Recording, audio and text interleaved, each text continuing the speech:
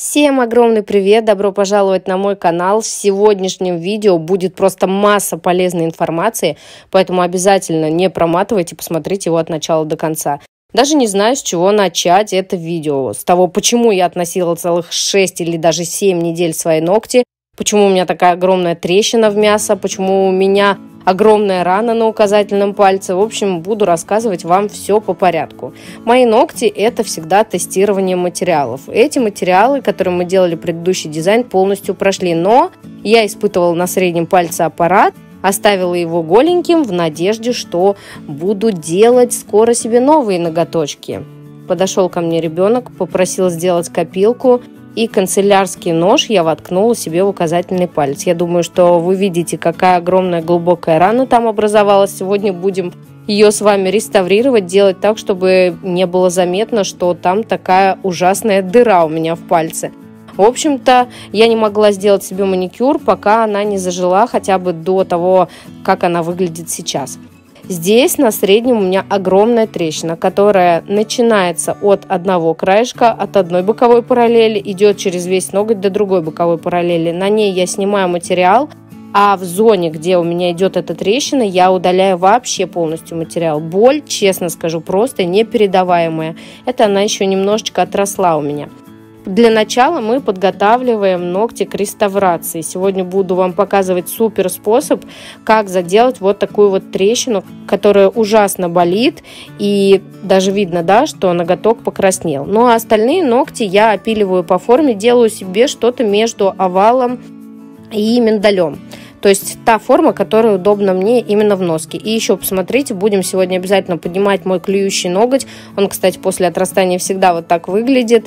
И еще у меня из-за раны образовалось даже небольшой, как будто бы анихолизис. В общем, не знаю, ноготь немножко деформировался. Средний пальчик заслуживает отдельного внимания. Показала вам его в макролинзу. Надеюсь, что среди моих зрителей нет особо впечатлительных. Я беру кислотный праймер, так как у меня здесь очень много слоев содрано было. Когда образовалась эта трещина, они просто откололись. Каучуковую базу от торговой марки Cosmoprofi я наношу практически до кутикулы. Не доношу до кутикулы, потому что я еще не сделала маникюр, и, соответственно, там может быть не зачищен птеригий, а так как у нас сцепки не будет, поэтому отслоечки нам не нужны и мы до кутикулы не доходим. А боковые стороны и центр мы с вами зашлифовали пилочкой. Аккуратненько промазываем. Дальше берем самый обычный ватный диск и начинаем его потрошить и закладывать в нашу трещину. Сразу скажу, что на какое-то время я попыталась заделать акригелем просто сверху, но акригель это не такой твердый материал, который будет держать трещину. Плюс у него нет вот этой вот армирующей сетки, которую, кстати, сегодня будет создавать наша вата. И еще скажу такой момент. Не бойтесь перед клиентами использовать вот такие вот подручные средства, потому что иногда бывают они даже лучше, чем какие-то специализированные. Лайфхак с ватой реально работает. Я хожу с этим маникюром уже больше недели, ноготь меня не беспокоит, ушла вот эта болезненная чувствительность. И так как я мама двух детишек, я хотя бы могу делать спокойно дела по дому. Заложили ватку, просушили, покрыли еще тоненьким слоем базы, еще раз просушили и опиливаем, так как мы будем выкладывать гель без поверхностного опила, поэтому нам нужна ровная поверхность. Увидела, что у меня есть небольшая канавка, поэтому решила добавить еще немножко акригель для того, чтобы сравнять ноготок и чуть-чуть его приподнять. Все-таки тоже он у меня клюет. Вообще в процессе работы я, конечно же, смотрю на ногти, и главное, чтобы каждый из них был правильной и красивой архитектуры. Тем более мы сегодня будем с вами делать, ну, очень красивые ногти. И продолжим с вами тему корейского дизайна. Знаю, что такие дизайны не всем нравятся, но я думаю, что они найдут свою аудиторию. Здесь я делаю поднятие шарика кригеля, выкладываю на то местечко, откуда начинает ноготь клевать и распределяю его параллельно центральной оси пальчика, если смотреть сбоку, то есть чтобы он у нас не клевал. Ну а дело дальше останется за малым, просто правильно опилить. Как бы вы хорошо не положили материал, самое главное это опил обязательно пилку заводим под низ, потому что сверху мы будем только выравнивать ноготок, избавлять его от всяких горбылей. а вот снизу у нас должно образоваться вот такое красивое провисание. Это и есть правильная архитектура, которая будет носибельна даже при тонком слое геля. Самое главное, апекс в нужном месте выстроить. Посмотрите, завожу пилочку под ноготь, завожу ее под два угла, под углом 45 градусов относительно уголков. И сначала выпиливаю так ноготь, чтобы у меня образовалось скругление, то есть отмечаю, где у меня будет торец. И дальше просто убираю провисание. Вот такие вот ноготочки у меня получились, которые я отремонтировала. И приступим уже к маникюру. Сначала отодвигаем кутикулу. Конечно, кутикула у меня не так сильно разрастается, как у многих моих клиентов. И кажется, что срезать тут особо нечего, но вы-то знаете, что настоящий мастер всегда найдет, что срезать. И при правильной проработке пламенем всегда кутикула выворачивается, и даже неглубокий маникюр всегда можно найти, что срезать. Но суть сегодня не в этом. Мне нужно очень хорошо обработать боковые валики, плюс я в разных направлениях зачищаю как раз-таки вот этот мой глубокий порез, я очень сильно боялась, что у меня сильно деформируется ноготь, но он деформировался только совсем чуть-чуть. В следующем видео, когда маникюр отрастет, я вам покажу уже более подробно это место. Думаю, что всем будет полезно. Вообще, хотела с вами посоветоваться. Так как мы мастера и наши руки – это наш рабочий инструмент, есть ли у вас какие-то страхи по поводу того, что вы можете поранить руку или сломать руку? Никак почему-то не могу от этого отделаться и понимаю, что руки – это, наверное, самое дорогое, что есть в моем теле. Надеюсь, что вы меня поддержите. Если у вас такие переживания, давайте поделимся в комментариях.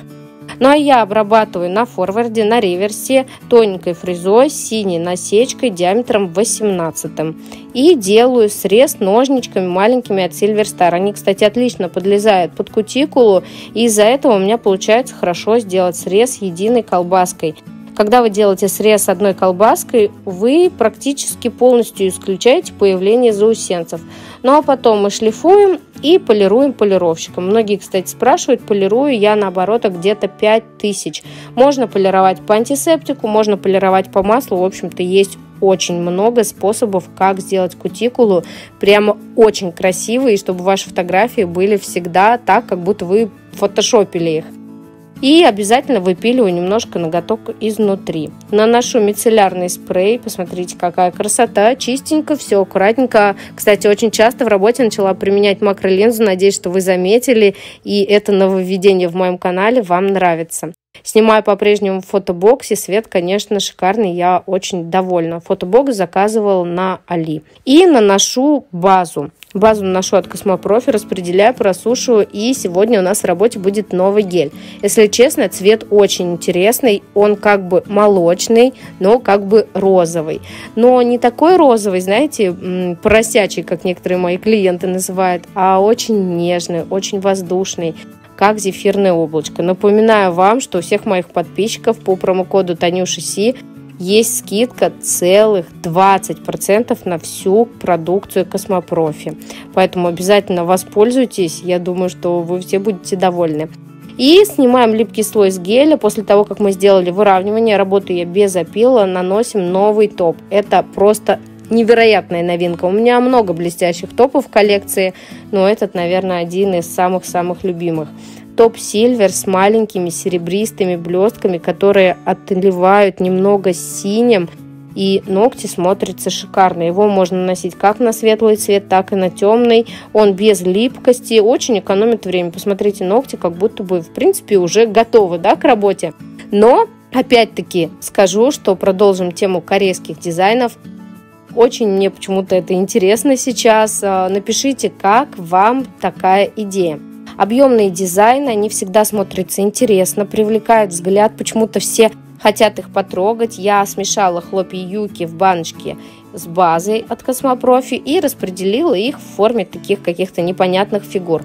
Дальше беру прозрачный гель Наношу сначала промазывающий слой, потом беру капельку и добавляю объемы.